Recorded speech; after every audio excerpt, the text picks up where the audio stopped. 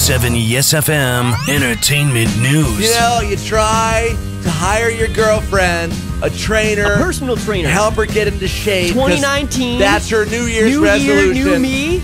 Only, well, they're doing more than pumping iron. Oh yeah, we're talking Yeah. about Diddy and Cassie, mm-hmm. which Cassie, I guess, is just the first name. She's a singer. Oh, okay. Well, Yeah. anyway, Diddy and Cassie were dating, Yeah. and now they are not Nope. because she was suspected of fooling around with a personal trainer, and uh, she said, "No, no, no, no. I only started fooling around with him after we broke up." But Diddy's still pissed because he was paying for that personal trainer. Yeah. Ah, so much for those golf lessons. You're not getting them, Cassie. No tennis lessons either.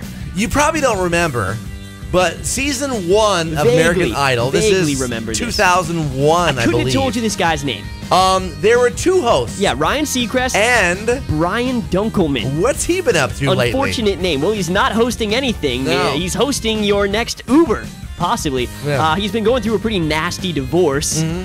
And he's been driving Uber, Uber since March of 2016, Yeah. earning $800 a week. Right. Which for a lot of us, probably not too shabby. Right. Yeah, but you know, from going to in the spotlight to behind the wheel of an Uber, Yeah.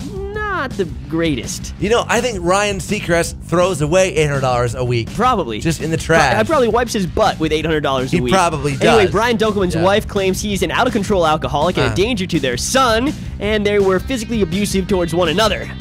Yikes. Seacrest out.